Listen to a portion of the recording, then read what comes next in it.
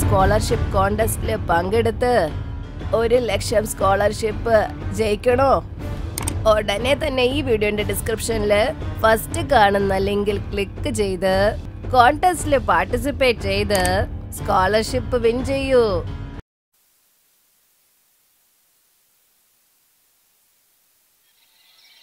ഈ മനോഹരമായ ഗ്രാമത്തിന്റെ പേര് രാംപൂർ. രാംപൂരിന്റെ ഒരിടത്ത് സമുദ്രം അപ്പുറത്ത് കൊടുങ്കാട്. വേറൊരു വശത്ത് വലിയ മലകളുണ്ട്. ആ ഗ്രാമത്തിന്റെ അകത്ത് കയറാൻ ഒരു എളുപ്പ വഴി പടിഞ്ഞാറ് ദിശയിലുള്ള ഒരു വഴിയുണ്ട് അവിടെ.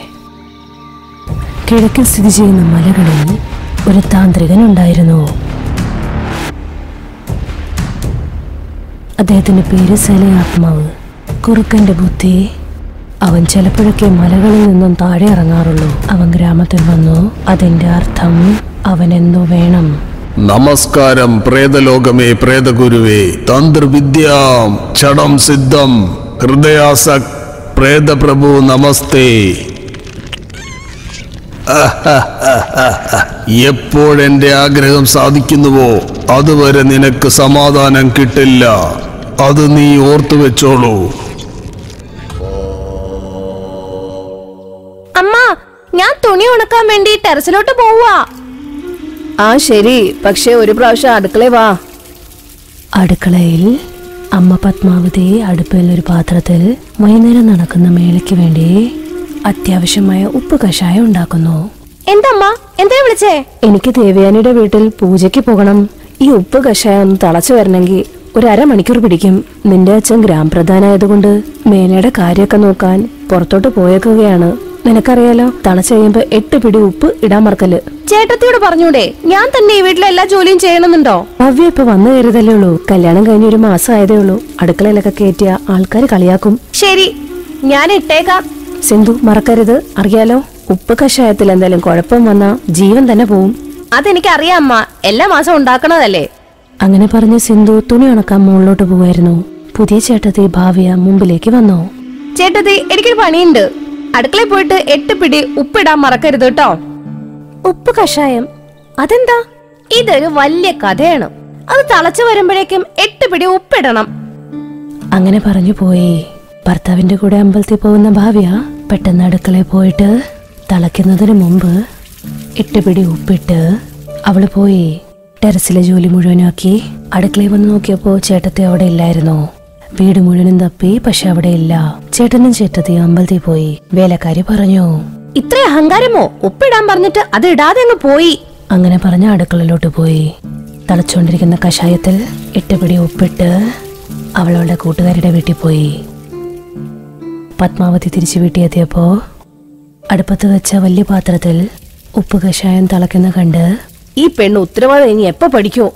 കഷായം തിളക്കിയ അതിൽ ഉപ്പ് ഇട്ടിട്ടുണ്ടോ എന്തോ? നക്കാൻ പറ്റത്തില്ല എച്ചിലാക്കാൻ പറ്റത്തില്ല. അങ്ങനെ പറഞ്ഞ് വീട് മുഴുവൻ സിന്ധുവിനെ തപ്പി. വേലക്കാരി പറഞ്ഞു സിന്ധു എവിടെ പുറത്തു പോയേക്കുക അവൾ വല്ലാത്തൊരു മണ്ടി തന്നെയാ. അളവിന് ഉപ്പൊന്നും ഇട്ട് കാണത്തില്ല. ഇട്ടിട്ടുണ്ടെങ്കിലോ? ഞാൻ ഇട്ട എന്താവും എന്തോ ആ ഉപ്പ് കഷായം തന്നെയല്ലേ? അങ്ങനെ ആലോചിച്ച് ഇട്ടുപിടി പിടി ഉപ്പിട്ടവൾ ഉപ്പ് കഷായം രണ്ട് പാത്രത്തിലോട്ടാക്കി. ഇവരുടെ വീട്ടിൽ എല്ലാ മാസവും പടായ്മയുടെ ദിവസം ഇത് ചെയ്യാറുണ്ട്. പടായ്മയുടെ ദിവസം രാത്രിയാകുമ്പോൾ ഗ്രാമപ്രധാന്റെ മുറിയിൽ നിന്നും തടി കൊണ്ടുണ്ടാക്കിയ കല്യാണ ചെക്കനെ കല്യാണ ചെറുക്കനെ പോലെ പല്ലക്കിലേറ്റി കൊണ്ടുപോകാറുണ്ട്. ഇതിന്റെ കൂട്ടത്തിൽ ഉപ്പ് കഷായം പുറകിൽ വെച്ച് ഇങ്ങനെ തൂക്കിക്കൊണ്ട് കൊണ്ടുപോകും ഗ്രാമപ്രധാൻ വെളിച്ചം കൊണ്ട് അവർക്ക് വഴി കാട്ടുന്നു. അതിന്റെ കൂട്ടത്തിൽ വേറെ രണ്ട് വ്യക്തി പിന്നെ ആൾക്കാർ കല്യാണത്തിന് നാദസ്വരം വായിക്കുന്ന പോലെ നടന്നു പോവുകയായിരുന്നു. പടിഞ്ഞാറ് വശത്തേക്ക് നടന്നു പോയതിനു ശേഷം ആൽമരത്തിൽ ഒരു പാത്രത്തിലെ ഉപ്പ് കഷായം ഒഴിച്ച് രണ്ടാമത്തെ പാത്രം ആ പ്രതിമയിലൊഴിച്ച് പാത്രം കാലിയാക്കി അതുപോലെ തന്നെ തിരിച്ചു വരും. തടി കൊണ്ടുണ്ടാക്കിയ കല്യാണ ചെക്കനെ ഗ്രാമ്പതാന്റെ വീട്ടിൽ കൊണ്ടുപോയി കൊണ്ടുപോയി ഇരുട്ട് മുറിയിൽ അടച്ചു വെച്ചിട്ട് ആ നാദസ്വരം നിർത്തും അവർ. നാദസ്വരത്തിന്റെ ശബ്ദം നിന്നു പോകുമ്പോൾ ഗ്രാമത്തിലെ എല്ലാ ആൾക്കാരും അവരുടെ വെളിച്ചം അണയ്ക്കും. മുഴുവൻ ഗ്രാമം വിജനതയിലോട്ട് പോകും. ഇതെല്ലാം കണ്ട ഒരുമാതിരി പുതിയ മരുമകൾ അമ്മായി അമ്മയോട് ചോദിക്കും. ഇതിനെ ഉപ്പ് കഷായത്തിന്റെ ജാത്ര എന്ന് പറയും. കഴിഞ്ഞ പതിനാല് വർഷമായിട്ട് പഞ്ചമി രാത്രിയിൽ ഇത് ചെയ്യാറുണ്ട്. അറിയില്ല എനിക്ക്. ഇതെല്ലാം കാണുമ്പോ ഒരുമാതിരി തോന്നുവാ. ഉപ്പ് കഷായം എന്ന് പറയുമ്പോ രാവിലെ ഇങ്ങനെ എട്ടുപിടി ഉപ്പിട്ട കഷായാണോ? നീ അതിലിട്ടിരുന്നോ? നിന്നോട് അതിലിടാൻ ആരാ പറഞ്ഞത്? സിന്ധു പറഞ്ഞിരുന്നു അമ്മ. സിന്ധുവിനെ വിളിപ്പിച്ച് ചോദിച്ചപ്പോ അതെ ഞാൻ തന്നെയാ പറഞ്ഞത്. പക്ഷേ ചേട്ടത്തി ഉപ്പിടാതെ തന്നെ ചേട്ടന്റെ കൂടെ അങ്ങ് അമ്പലത്തിൽ പോയി. അതുകൊണ്ട് ഞാനാണ് ഉപ്പിട്ടത്. നീ പറഞ്ഞതുപോലെ തന്നെ എട്ടുപിടി ഉപ്പ് ഇട്ടിട്ട് തന്നെയാ ഞാൻ അമ്പലത്തിൽ പോയത് സിന്ധു. അപ്പോ നിങ്ങൾ രണ്ടുപേരും അതിൽ ഉപ്പിട്ടോ? നിങ്ങൾ രണ്ടുപേരും ഉപ്പിട്ടിട്ടുണ്ടാവില്ല. അതുകൊണ്ട് ഞാനും എട്ടുപിടി ഉപ്പിട്ടു. ഇനി എന്ത് സംഭവിക്കും എന്തോ? എന്ത് സംഭവിക്കാനാ? ഒന്നും സംഭവിക്കില്ല. ഒന്നും ഉണ്ടാവൂല. മനുഷ്യന്മാരൊക്കെ എന്താ? ആ ഉപ്പ് കഷായം രുചി നോക്കുവോ? പ്രേതമല്ലേ രുചി നോക്കാൻ പോണത്? ഉപ്പ് കൂടിയാൽ എന്ത് കുറഞ്ഞാ എന്ത്? എന്താ? പ്രേതോ. അതേ മോളെ പ്രേതം. പേടിക്കണ്ട ഗ്രാമത്തിന് നല്ലതിനു വേണ്ടിയാ. അതൊക്കെ ശരി തന്നെ. ഉപ്പ് കൂടുതലിട്ടത് അച്ഛൻ അങ്ങനെ അറിഞ്ഞാലോ? നമ്മൾ മൂന്ന് പേർക്കും വഴക്ക് കിട്ടും. അമ്മ ചേട്ടത്തി നമുക്കിത് ഇപ്പൊ തന്നെ മറക്കാം. ശരി ശരി പക്ഷേ ഈ പ്രേതം എന്താ? അവർക്ക് വേണ്ടി ഈ ഉപ്പ് കഷ എന്തിനാ? ആ ഇരുട്ട് മുറി എപ്പോഴും എന്താ അടഞ്ഞിരിക്കണേ? സമയാകുമ്പോ എല്ലാം നിനക്കത് മനസ്സിലാകും. നാദസ്വരം നിർത്തിയിട്ട് ഒരുപാട് നേരമായി ലൈറ്റൊക്കെ അണച്ചോളൂ. അവർ മൂന്നും അവരവരുടെ മുറി പോയി. പാതിരാത്രി സമയം കഴിഞ്ഞപ്പോ തടി കൊണ്ടുണ്ടാക്കിയ പാവ ചിരിക്കാൻ തുടങ്ങി. ആ മരത്തിന്റെ അടുത്ത് എന്തിന്റെയൊക്കെയോ നിലവിളികൾ കേൾക്കാമായിരുന്നു.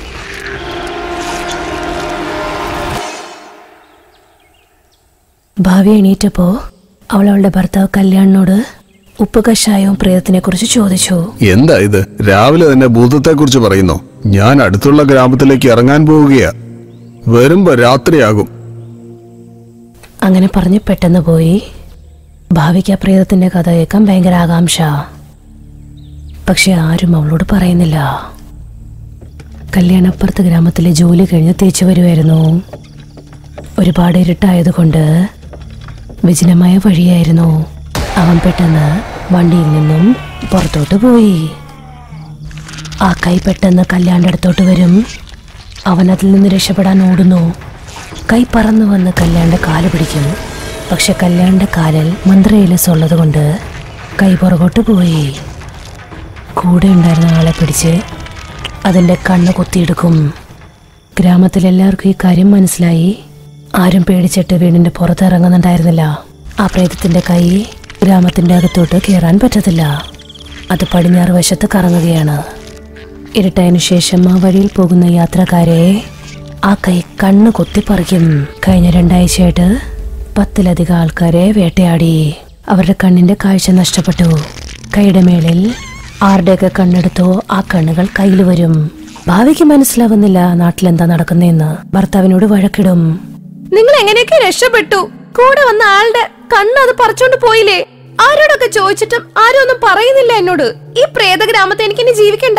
നിങ്ങളും എന്റെ കൂടെ വാ. എന്റെ ഗ്രാമത്തിൽ പോയി ജീവിക്കാം. ഇവിടുത്തെ സ്ഥിതി മെച്ചപ്പെടുന്നത് വരെ നീ നിന്റെ ഭാര്യ വീട്ടിലേക്ക് പോയിക്കോ. ആ ഭൂതത്തിന്റെ ശല്യം തീരുന്നത് വരെയെങ്കിലും അവിടെ നിൽക്ക തീർന്നു കഴിഞ്ഞിട്ട് തിരിച്ചു വന്നാ മതി. രാത്രി ആവുന്നതിന് മുമ്പേ പൊയ്ക്കോ. നിങ്ങൾ എന്ത് ചെയ്യും? നീ വേണേ നിന്റെ ഭാര്യയുടെ കൂടെ പൊക്കോ. ഞങ്ങൾ എന്തായാലും വരുന്നില്ല. നീ വേണമെങ്കിൽ പോയി രക്ഷപ്പെട്ടോ ഇവിടുന്ന്. നമുക്ക് എല്ലാവർക്കും നാട് വിട്ടു പോവാ അച്ഛാ. ഞാൻ ഇവിടുത്തെ പ്രധാനിയാണ്. ഗ്രാമവാസികളെ തനിച്ചാക്കി പോകാൻ പറ്റില്ല. നിങ്ങൾ പൊയ്ക്കോ. അങ്ങനെ ഇരുട്ടാവുന്നതിന് മുൻപ് ഭർത്താവിനെ അനിയത്തിനെയും കൊണ്ട് വണ്ടിയിലിരുന്ന് അവളുടെ ഗ്രാമത്തിലോട്ട് പോയി. ഇരുട്ടായി വിജനമായ ഗ്രാമം. പാതിരാത്രി കഴിഞ്ഞ് ഇരുട്ടുള്ള മുറിയിൽ നിന്ന് എന്തൊക്കെയോ ശബ്ദങ്ങൾ കേൾക്കുന്നു. ആ സംസാരം കേട്ട് ഉറക്കത്തിൽ നിന്നീറ്റ് പത്മാവതി നരേനും പോയി അതിന്റെ ജനാല തുറന്ന് നോക്കിയപ്പോ എനിക്കെന്റെ ഭാര്യയെ വേണം. നിന്റെ മരണം കാണുന്നത് വരെ എനിക്ക് സമാധാനമുണ്ടാകില്ല. ഇനി നമുക്ക് ഒട്ടും സമയമില്ല. പെട്ടെന്ന് സോലിയെ പോയി കാണൂ. അവർ കുന്നിൻ മുകളിൽ നിന്ന് ഇറങ്ങി ഇവിടേക്ക് വരണം. നമ്മൾ അവിടേക്ക് ചെല്ലാൻ അവർ സമ്മതിക്കില്ല. പക്ഷെ പതിനാറ് കണ്ണുള്ള ഗുഹ കിഴക്ക് വശത്തുള്ള കുന്നിലാണ്. പക്ഷെ കൃത്യമായ സ്ഥലം ആർക്കും അറിയില്ല. ഇനിയും എത്ര പേരുടെ ബലി നമ്മൾ കൊടുക്കേണ്ടി വരും? പോകൂ ഒരു കുഴപ്പം വരില്ല. അടുത്ത ദിവസം സോലിയുടെ ഗുഹ തപ്പിക്കൊണ്ട് കിഴക്കിലോട്ട് ഒറ്റയ്ക്ക് പോയി ഒരുപാട് തപ്പിയിട്ടും സോലിയുടെ ഗുഹ കിട്ടിയിട്ടില്ല. വഴി മാറിപ്പോയി തെക്കോട്ടുള്ള കാട്ടിലോട്ട് പോയി. വൈകുന്നേരമായി ഒരുപാട് നടന്നിട്ടും നരേന്ദ്രന് ഗ്രാമം കണ്ടെത്താൻ പറ്റിയില്ല. കാട്ടിൽ പോകുന്ന സമയം പോയി പോയി ഇരുട്ടായിരുന്നു. തെക്ക് വഴിയിലേക്ക് അങ്ങ് നടക്കും. അവിടെ പടിഞ്ഞാറ് വഴിയിൽ അവിടെ ഉണ്ടായിരുന്ന കൈകളിലെ കണ്ണു തുറക്കും. ഭയങ്കര വേഗത്തിൽ ഗ്രാമത്തിന്റെ നാല് വശത്തോടി കാട്ടിൽ പോയി നരേന്ദ്രന്റെ വയറ് കീറി കണ്ണു പിഴുതെടുത്ത് ഇവിടെ നരേന്ദ്രൻ മരിക്കുമ്പോ മുറിയിലുണ്ടായിരുന്ന പാവ ഒച്ചത്തിലും ഭയാനകമായി ചിരിക്കാൻ തുടങ്ങും. സ്വന്തം ഭർത്താവിനെ കാത്തിരുന്ന് ഇരട്ടിലിരുന്ന പത്മാവതി ആ ചിരി കേട്ട് പേടിച്ചെണീറ്റ് ജലാലെ കൂടെ നോക്കി. ഇനിയും നീ എന്തിന് സിന്ദൂരം ഇട്ടിരിക്കുന്നു? നീ വിധവയാണ്. നിന്റെ ഭർത്താവ് മരിച്ചു. ആ വാക്കുകൾ കേട്ട് കരഞ്ഞുകൊണ്ട് ഭർത്താവിനെ തപ്പി ഗ്രാമത്തിന്റെ വഴികളിൽ അങ്ങോട്ടേക്ക് പോയി. അതേനേ അതേനേ നിങ്ങളിത് എവിടെയാ മലയിലോട്ട് പോകുന്ന വഴിയില്ലല്ലോ. ഇനി അങ്ങനെ ആ വഴിയിൽ പോയിട്ടുണ്ടോ? അങ്ങനെ വിചാരിച്ച സംശയത്തോടെ ആ വഴിയിലോട്ട് പോയപ്പോ തറയിൽ നിന്നൊരു കൈ വന്ന് പത്മാവതിയുടെ കാൽ വലിച്ചുകൊണ്ട് അങ്ങ് കൊണ്ടുപോയി. കഴുത്തിലോട്ട് പിടിച്ച് പൊക്കി നിർത്തി. പടിഞ്ഞാറ് വഴിയിൽ ബോധം കെട്ട പത്മാവതി ഗ്രാമത്തെ കൊണ്ടുവന്ന് ഓർക്കി വൈദ്യൻ വന്ന് കണ്ണുകൾ കെട്ടി. കണ്ണിന്റെ കൃഷ്ണമണികൾ നഷ്ടപ്പെട്ടു. അതുകൊണ്ട് കാണാൻ കഴിയില്ല. ഈ ഗ്രാമത്തിന്റെ അവസ്ഥ എന്ത് കഷ്ടമാണ്. ഞങ്ങളെ രക്ഷിക്കാനായിട്ട് ഇനി ആരുമില്ല. യജമാനത്തെ ഈ അവസ്ഥയിൽ എങ്ങനെ തനിച്ചു കിടത്തും? എന്റെ ഭാര്യയോട് യജമാനത്തിയുടെ കൂടെ താമസിക്കാൻ പറയാം. യജമാനത്തിക്ക് സഹായത്തിനായിട്ട് എന്റെ ഭാര്യയും അയക്കാം. കല്യാണിനെ എങ്ങനെങ്കിലും ഈ വിവരങ്ങളൊക്കെ അറിയിക്കണം. അങ്ങനെ പറഞ്ഞ വേലക്കാരൻ രംഗ ഒറ്റയ്ക്ക് കാളവണ്ടിയിൽ മുനിപ്പൂർ പോയി. അവിടെ മലയുടെ ഗുഹയിൽ ഷോലെ അവിടെ ശുദ്രം ജപിക്കുന്നു. നമസ്കാരം പ്രേതലോകമേ പ്രേതഗുരുവേ. തന്ത്രവിദ്യാം ചടം സിദ്ധം ഹൃദയാസക് പ്രേതപ്രഭു നമസ്തേ. നമസ്കാരം പ്രേതലോകമേ പ്രേതഗുരുവേ. തന്ത്രവിദ്യാം ചടം സിദ്ധം ഹൃദയാസക് പ്രേതപ്രഭു നമസ്തേ. മൂന്ന് ദിവസം കർത്തവാണ് അപ്പോൾ വധുവരന്മാർ ഉപ്പുവേലയിൽ മുഴുകേണ്ടതാണ്. ഇല്ലെങ്കിൽ നീ ക്ഷുദ്രബലി ചെയ്തതെല്ലാം വെറുതെയാകും വെറുതെയാകും വെറുതെയാകും. ഞാൻ മലയുടെ താഴേക്ക് ഇറങ്ങിയാൽ എന്റെ യാഗം നശിച്ചു പോകും. പക്ഷെ എങ്ങനെ? അവിടേക്ക് എന്റെ കുഞ്ഞിനെ അയക്കുന്നതാണ് നല്ലത്. നമസ്കാരം പ്രേതലോകമേ പ്രേതഗുരുവേ തന്ത്രവിദ്യാം ചടം സിദ്ധം ഹൃദയാസ പ്രേതപ്രഭു നമസ്തേ. കെട്ടിപ്പോയി ഒരു മുടിക്കെട്ടിൽ നിന്ന് നാല് മുടിക്കെട്ടായി പറക്കാൻ തുടങ്ങി. എന്റെ പാതി ശരീരങ്ങളെ ഗ്രാമത്തിൽ പോയി അവിടുത്തെ കാര്യങ്ങളൊക്കെ ശ്രദ്ധിക്കൂ വിവരമറിയിക്കൂ. ആ മുടിക്കെട്ട് കാറ്റത്ത് പറന്ന് ഗ്രാമത്തിൽ കറങ്ങുന്നു. അതിന്റെ ഇടയ്ക്ക് രംഗ മുനിപ്പൂറിലെത്തി കല്യാണിനോട് എല്ലാ കാര്യങ്ങളും പറഞ്ഞു. കല്യാൺ കരിഞ്ഞുകൊണ്ട് ഗ്രാമത്തിലേക്ക് പോയി. ഭാര്യ പോവരുതെന്ന് പറഞ്ഞിട്ടും അവന്റെ അങ്കയുടെ കൂടെ പോയി. ഇതെല്ലാം കണ്ടു നിന്ന ഭവിയുടെ അച്ഛൻ. അവനൊന്നും സംഭവിക്കില്ല മോളെ. എന്നെ വിശ്വസിക്കൂ. നിങ്ങളുടെ വിവാഹ സമയത്ത് അവന്റെ കാലിൽ മന്ത്രവാദി മുത്തശ്ശി തന്ന രക്ഷ കെട്ടിയിട്ടുണ്ട്. നിന്റെ കൈകൊണ്ടല്ലേ അണിയിച്ചത്? മന്ത്രവാദിനിക്കാക്കി ഇത്രയും ശക്തിയുള്ളതാണോ? അങ്ങനെയാണെങ്കിൽ ഗ്രാമത്തിന്റെ ഈ പ്രശ്നം ഒന്ന് ശരിയാക്കാൻ പറ. അതെ പോകാം. ഉടൻ തന്നെ അവിടേക്ക് പോകാം. ഗ്രാമത്തിലേക്ക് പോകുന്ന സമയം ഇരുട്ടായിരുന്നു. കാട്ടിൽ നടന്നൊരു മുള്ളിന്റെ ഇടയ്ക്ക് പോയി അവന്റെ ഏലസ് പോയി. മരത്തിന്റെ അവിടെ ഒളിഞ്ഞിരുന്ന കയ്യ് പറന്ന് താഴത്തോട്ട് വന്ന് രംഗയുടെയും കല്യാണിന്റെ പുറകിലോട്ട് പോയി. കല്യാണിന്റെ കണ്ണ് പിഴുതെടുത്തു. ഇതറിയാതെ ഇവർ മൂന്നുപേരും മൊബൈൽ ചെന്ന് കാക്കേനെ കാണും. നടന്നതെല്ലാം വിസ്തരിച്ച് സിന്ധു പറഞ്ഞു. അപ്പൊ ഞാൻ ഒരുപാട് ചെറുതായിരുന്നു കാക്കി. പതിനഞ്ച് വർഷത്തിന് മുൻപ് നമ്മുടെ ഗ്രാമത്തിലെ കാട്ടിലൂടെ പറന്നു നടക്കുന്ന പ്രേതം വന്ന് രാത്രി സമയം നമ്മുടെ അങ്ങോട്ടേക്ക് വരും. എന്നിട്ട് എല്ലാവരെയും അങ്ങ് കൊല്ലുമായിരുന്നു. ഗ്രാമത്തിലെ ആൾക്കാർ പേടിച്ചിട്ട് ആ ഗ്രാമം വിട്ടുപോകും. ആ രേഖയ്ക്ക് ഇപ്പുറം പോകുന്നവർ പ്രേതത്തിന്റെ കയ്യാലെ മരിക്കും. വഞ്ചിയിൽ പോകുന്ന ആൾക്കാരെ പ്രേതം വെള്ളം കൊണ്ട് അവരെയും കൊന്നുകളയും. ഗ്രാമത്തിൽ നാല് ദിശയിൽ നാല് പ്രേതങ്ങൾ കറങ്ങി എല്ലാവരെയും കൊല്ലുമായിരുന്നു. ഒരു ദിശയിലോട്ടും പോകാൻ പറ്റാതെ ആൾക്കാർ പേടിച്ചായിരുന്നു അവിടെ ജീവിച്ചിരുന്നത്. ഗ്രാമത്തിന്റെ കിഴക്ക് ദിശയിലുള്ള മലയുടെ മുകളിൽ താമസിക്കുന്ന സോല എന്ന് പറയുന്ന താന്ത്രികൻ വർഷങ്ങൾക്ക് മുമ്പ് മരിച്ചുപോയ എന്റെ ജ്യേഷ്ഠന്റെ ആത്മാവ് ഒരു തടി പാവയിൽ ആവാഹിച്ചു വെക്കും. കണ്ണില്ലാത്ത ഗാർഗി എന്ന പെണ്ണിനെ കൊണ്ട് വിവാഹം ചെയ്യിപ്പിച്ച് ആ നാല് പ്രേതങ്ങൾക്ക് വേണ്ടി ആ കുട്ടീനെ ബലി കൊടുക്കുകയാണ്. ആ ഗാർഗിയുടെ കൈ വെട്ടി മുറിച്ചിട്ട് ആ നാല് പ്രേതങ്ങളെ അതിന്റെ അകത്ത് ആവാഹിച്ച് വെക്കും. ഈ കൈയിൽ ബന്ദികളാക്കിയ നാല് പിശാശുക്കളെയും ഗുഹയിൽ തടവിലാക്കണം. അവർ ഒരിക്കലും പുറത്തേക്ക് വരില്ല. ഈ വധുവിന് പതിനെട്ട് വയസ്സാണ്. അതുകൊണ്ട് പതിനെട്ട് കഷ്ണങ്ങളായി മുറിച്ച് മരത്തിന്റെ ചുവട്ടിൽ കുഴിച്ചിടണം. അത് വധുവിന്റെ കൂട്ടർ തന്നെ ചെയ്യണം. ഇന്ന് കറുത്തവാവാണ്. ഇനി മുതൽ എല്ലാ കറുത്തവാവ് ദിവസവും പശുവിന്റെ ചാണകം കലത്തിൽ കലക്കി മൂന്ന് മണിക്കൂർ വേവിച്ച് എട്ട് പിടി ഉപ്പിടുക. അങ്ങനെ തിളച്ചു കഴിഞ്ഞിരിക്കുന്ന വെള്ളമെടുത്ത് ഈ മൂർത്തിയുടെ മുകളിലേക്ക് ഒഴിക്കുക. ബാക്കിയുള്ളത് കുഴിച്ചിട്ട് സ്ഥലത്തും ഒഴിക്കുക. ഇല്ലെങ്കിൽ ആത്മാവ് ഉയർത്തെഴുന്നേക്കും നിങ്ങളുടെ ഗ്രാമത്തെ എന്നേക്കുമായി നശിപ്പിക്കും. പിന്നെ ഈ പ്രതിമയെ ഞങ്ങൾ എന്ത് ചെയ്യണം? ഈ കാണുന്ന പ്രതിമയിൽ നിങ്ങളുടെ മകളുടെ ആത്മാവുണ്ട്. അതുകൊണ്ട് വീട്ടിലെ ഇരുണ്ട മുറിയിൽ സൂക്ഷിക്കുക. പന്ത്രണ്ട് വർഷം ഇതുപോലെ ഉപ്പിട്ട് കലക്കി ചെയ്യുകയാണെങ്കിൽ ആത്മാവിന് ശാന്തി കിട്ടുന്നതാണ്. അതോടെ ലോകത്ത് നിന്നേക്കുമായി പോകും. അങ്ങനെ എന്റെ അച്ഛൻ വഴി ആ കണ്ണുപൊട്ടി ഗാർഗി എന്ന പെണ്ണിനെ ഗ്രാമത്തിലെ ആൾക്കാർ കൂടി ആ ഗാർഗിയെ പതിനെട്ട് കഷ്ണങ്ങളാക്കാൻ സഹായിച്ച് ഗ്രാമത്തിന് അപ്പുറമുള്ള സ്ഥലത്ത് ആൽമരത്തിന്റെ അവിടെ കുഴിച്ചുമൂടും എല്ലാ മാസം പഞ്ചമി അന്ന് തന്ത്രി പറയുന്ന പോലെ ചെയ്തു.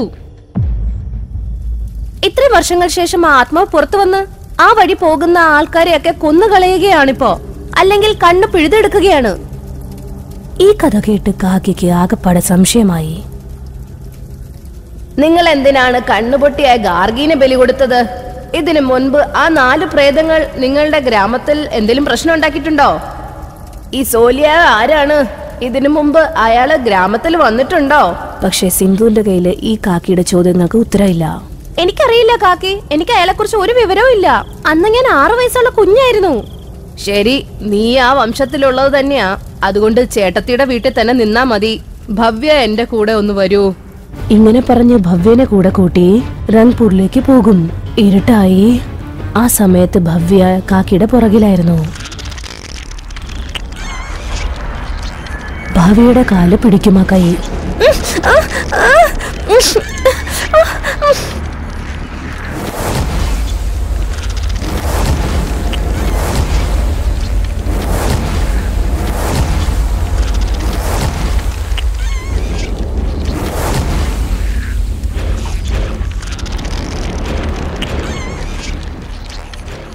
വന്നപ്പോഴേക്കും കെട്ടിയിട്ട മുടി ആക്രമിക്കാൻ തുടങ്ങും. ആ നാലു പേരിൽ മൂന്ന് പേരെ ഭസ്മമാക്കി കളയും. ഓരോരോ കെട്ടുമുടി ഭസ്മമാകുമ്പോ അവിടെ ഗുഹയിലെ സോലിയാന്റെ കണ്ണിൽ മൂക്കിൽ നിന്നും പച്ച രക്തം വരാൻ തുടങ്ങി. മകളെ നീ എന്റെ അടുത്തേക്ക് വരൂ. അങ്ങനെ പറഞ്ഞപ്പോഴേക്കും ആക്രമിച്ചുകൊണ്ടിരുന്ന ആ കെട്ട് അവിടുന്ന് പോകും. ഗുഹയിലെ. കെട്ടുള്ള മുടി ഗ്രാമത്തിൽ നടന്ന എല്ലാ കാര്യങ്ങളും വെട്ടി തുറന്നു പറയും. എന്താ? ആ കൈ ഓടി രക്ഷപ്പെട്ടെന്നോ? ആ മന്ത്രവാദി മുത്തശ്ശിയാണോ ബാക്കി എല്ലാവരെയും കൊന്നത്? സമയമില്ല. ഇന്ന് കർത്തവാവാണ്. നീ പോയി ഉപ്പുവെള്ളം കലക്കൂ. എനിക്കെങ്ങനെയെങ്കിലും എന്റെ ബലി തീർക്കണം. മന്ത്രവാദിനി കാക്കി പ്രധാനന്റെ വീട്ടിൽ പോയി പത്മാവതിയോട് വിസ്തരിച്ച് എല്ലാ കാര്യങ്ങളും അറിഞ്ഞെടുക്കും. ഇതെല്ലാം ഞാൻ കാരണമാണ് വന്നത്. ഉപ്പ് കഷായം തെറ്റായ രീതിയിൽ ഉണ്ടാക്കിയത് കൊണ്ട് മാത്രമാണ് ഇതൊക്കെ നടക്കുന്നത്. എന്റെ ഭർത്താവ് മരിച്ചു. എന്റെ മകന്റെ കണ്ണും പോയി. വിഷമിക്കാതിരിക്കെ. നിങ്ങളുടെ പ്രശ്നത്തിന് പരിഹാരം ഞാൻ കണ്ടിട്ടുണ്ട്. എല്ലാരും ഉറങ്ങുകയായിരുന്നു. പാതിരാത്രി പാതിരാത്രിയായി സമയം. മുറിയിൽ നിന്നും പാവയുടെ ശബ്ദം കേട്ട് എണീറ്റ് കാക്കിയ വാതിൽ തുറന്ന് അകത്തോട്ട് പോകും. ഗാബ്രജാമം ഗാബ്രജമാഞ്ചു ഗാബ്രജാമം ഗാബ്രജമാഞ്ചു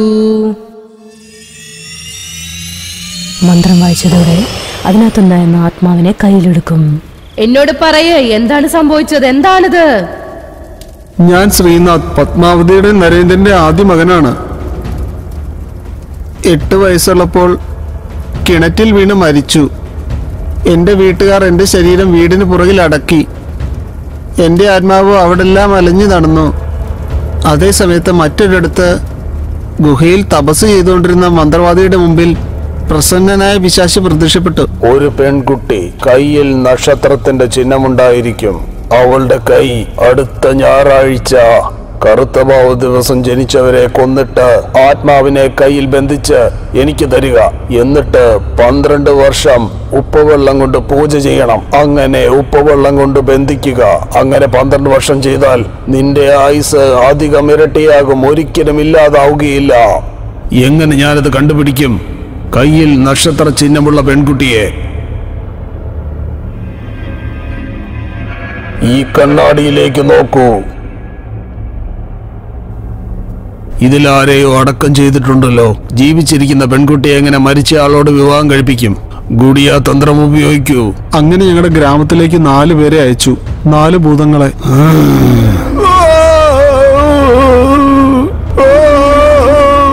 ഭൂതത്തിൽ നിന്നും ഗ്രാമത്തെ രക്ഷിക്കാവെന്ന് പറഞ്ഞ് എന്റെ അച്ഛനെ പറ്റിച്ച് കള്ളത്തരങ്ങൾ പറഞ്ഞ് എന്റെ ആത്മാവിനെ ആ പ്രതിമയിലേക്ക് ആവാഹിച്ച് വിളിച്ചു വരുത്തി. അനാഥയായ അന്ധയായ പെൺകുട്ടി. അവളുടെ കയ്യിൽ നക്ഷത്ര ചിഹ്നമുണ്ട്. അവർക്ക് ആ കൈ വേണമായിരുന്നു. ആ പെൺകുട്ടിയെ ഭൂതത്തിന് ബലി കൊടുക്കാൻ ഗ്രാമവാസികളെല്ലാവരും പറഞ്ഞു. അതിന്റെ അടുത്ത ദിവസം എന്റെ പിതാവ് കല്യാണം നടത്തുന്നത് പോലെ വാദ്യമേളങ്ങളുമായി പല്ലക്കിൽ അവളെ കൊണ്ടുപോയി. ആ പ്രതിമയുമായിട്ടുള്ള അവളുടെ കല്യാണം നടത്തുന്ന രീതിയിൽ അവളുടെ കൈ ആ പ്രതിമയുടെ തലയിലേക്ക് വെച്ചു. എന്നിട്ടൊരു വലിയ കടാര കൊണ്ട് അവളുടെ കൈ മുറിച്ചങ്ങെടുത്തു അവൾക്ക് കണ്ണ് കാണാത്തതുകൊണ്ട് എന്താ ചെയ്യാൻ പോകുന്നതെന്ന് അവൾ അറിഞ്ഞില്ല. അവളെ പതിനെട്ട് കഷ്ണങ്ങളായി അവർ മുറിച്ച് മരത്തിന് ചുവട്ടിൽ കുഴിച്ചിട്ടു. പക്ഷെ എന്റെ അമ്മ തെറ്റായ രീതിയിൽ ഉപ്പുവെള്ളം ഉണ്ടാക്കിയപ്പോൾ എന്റെ അമ്മയുടെ ശബ്ദം അവൻ കേട്ടു. അതോടെ ആ കൈ പുറത്തേക്ക് വന്നു. അത് പുറത്തേക്ക് വന്ന ഗ്രാമത്തിലുള്ളവരുടെ കണ്ണുകൾ കുത്തിപ്പൊട്ടിക്കാൻ തുടങ്ങി. ഭയാനകമായ രീതിയിൽ എന്റെ പിതാവിനെയും കൊന്നു. പിന്നീട് കഷ്ണങ്ങളായി മുറിച്ചുകൊണ്ടേയിരുന്നു. ഇന്ന് കറുത്തഭാവാണ് ഇന്ന് രാത്രിയിൽ ഞങ്ങളുടെ മേത്ത് ഉപ്പുവെള്ളം ഒഴിച്ചു കഴിഞ്ഞാൽ ആ മന്ത്രവാദിയുടെ ബലി പൂർത്തിയാകും. അങ്ങനെ സംഭവിച്ചാൽ അയാൾ ഈ ഗ്രാമത്തിലുള്ള എല്ലാവരെയും ഉറപ്പായും കൊന്നുകളയും. രക്ഷിക്കൂ രക്ഷിക്കൂ. അടുത്ത ദിവസം കാക്കി ഗാർഗിയുടെ കല്ലറയിൽ നിന്നും അവളുടെ അസ്ഥീനെ ഗ്രാമത്തിൽ കൊണ്ടുവന്ന് ആ തടിയുടെ പാവയുടെ കൂടെ അതിന്റെ അന്തിമ സംസ്കാരം ചെയ്തു. ഗാർഗിയും ശ്രീനാഥും രണ്ടിന്റെ ആത്മാവ് ഒന്നായ ഒരു ശക്തിയായി